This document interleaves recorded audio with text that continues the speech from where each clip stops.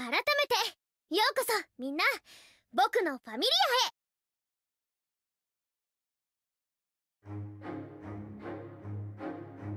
ウォーゲームの時は慌ただしかったからね。入団するにあたっての注意事項を説明するよ。はい。よろしくお願いいたします。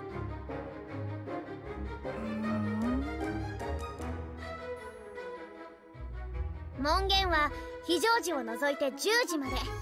何か用事がある場合は必ず僕に一報しておくこと。もちろんダンジョンに向かう際は出発する前に目的地の階層を教えてくれ。ダンジョンについての報告は分かりますが門限も定めているのですか？エスティア様。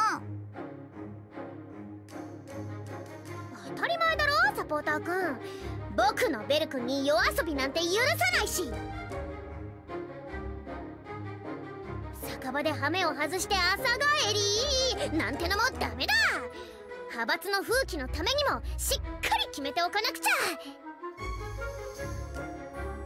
誰のベル様ですか？あと朝食と夕食はみんなでとる昼はみんな出かけてるから仕方ないけどそれ以外は全員で食事をするんだ。僕たちはもうファミリアなんだからね。俺はそれで構いません。むしろ賛同します。ええ。食卓を囲むことも団らんの時間を過ごすことも絆を深めていく中で大切ですから。ありがとう続いて他派閥とのうん。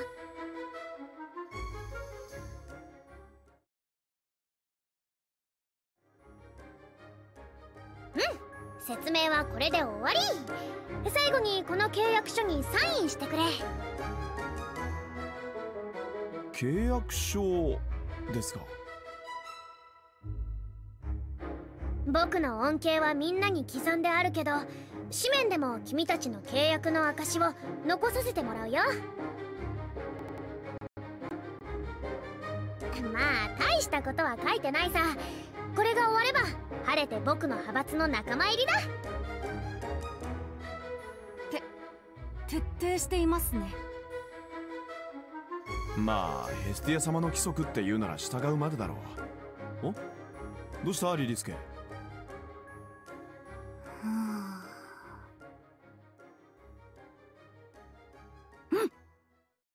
この隅に書かれた小さな一文は。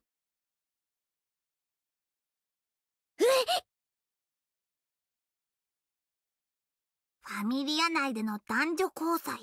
特に団長との接触は一切禁止。手をつなぐのもダメ。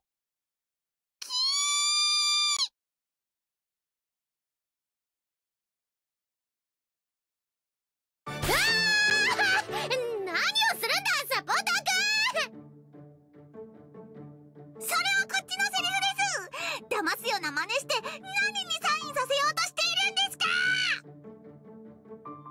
おお二人とも落ち着いてください。どうか穏便に。やれやれ